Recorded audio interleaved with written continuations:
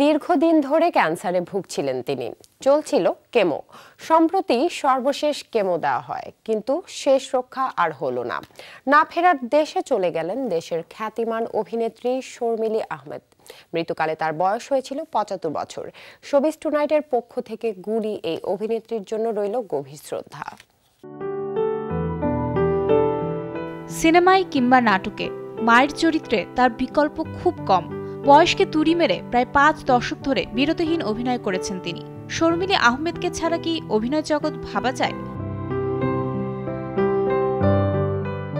উনিশশো সাতচল্লিশ সালে রাজশাহীতে জন্ম নেয়া এই জনপ্রিয় অভিনেত্রী অভিনয় শুরু করেন মাত্র চার বছর বয়স থেকে।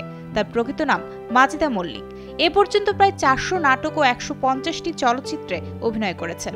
অভিনয় জীবনে মঞ্চ, টিভি ও চলচ্চিত্রের বৈচিত্র্যপূর্ণ চরিত্রে সাবলীল অভিনয় করে মন জয় করেছেন সবার। উনিশশো চৌষট্টি সালে অভিনয় পেশা শুরু করেন। বেতারের মাধ্যমে ক্যারিয়ারের সূচনা ঘটেছিল তার। বাংলাদেশের প্রথম ধারাবাহিক নাটক দম্পতিতে অভিনয় করেন তিনি।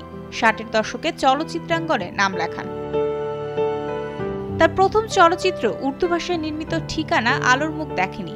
তবে সুভাষ দত্তের আলিঙ্গন, আয়না ও অবশিষ্ট এবং আবির্ভাব চলচ্চিত্র দিয়ে সুপরিচিত হয়ে ওঠেন।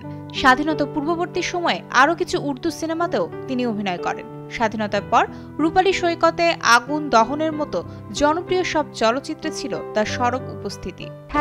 রঙের মাঝে আমি নীল খুঁজে না পাই। নায়িকা হিসেবে চলচ্চিত্রে অভিনয় করলেও এক পর্যায়ে মা, চাচি, দাদির চরিত্রে অভিনয় শুরু করেন শর্মিলা আহমেদ।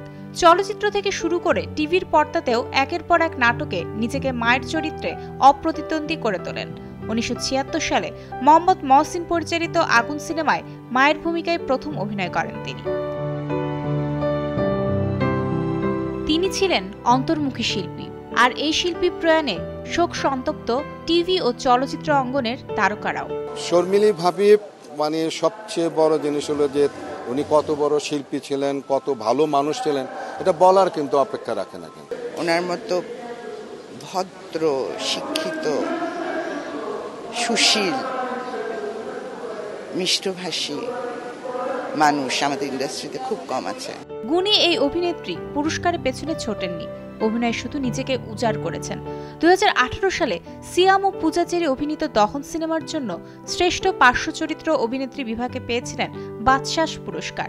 তবে এত এত কাজ করেও জীবদ্দশে পাননি তিনি প্রাপ্য সম্মান বা স্বীকৃতি, এমনটাই মনে করেন সংস্কৃতি বোদ্ধারা। তার অনুপস্থিতি সবিজ অঙ্গনের জন্য এক বিশাল ক্ষতি। মারিয়া হোসেন, সবিজ টু নাইট